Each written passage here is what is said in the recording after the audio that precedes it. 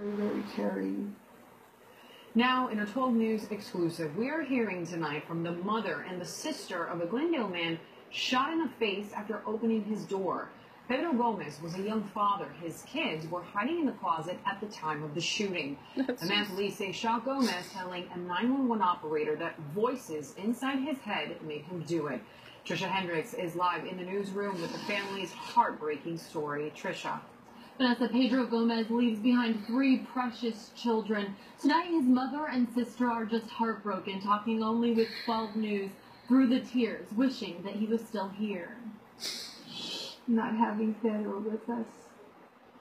It's been very hard. Rosa Gomez is Pedro Gomez's mother. Just devastated. Pedro's sister Angelina can't believe what happened. I was like, no, shock.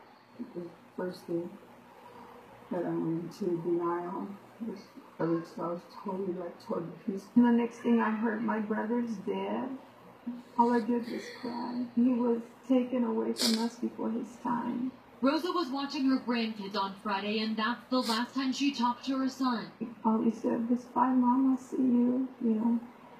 And I'll see you on Mother's Day. A day they never got to spend together.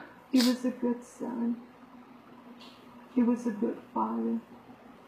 A good brother. Pedro's mom and sister say Michael Mitchell, the man Fucking that admitted bastard. to a 911 dispatcher he shot and killed Gomez after hearing voices in his head, had no reason to take his life.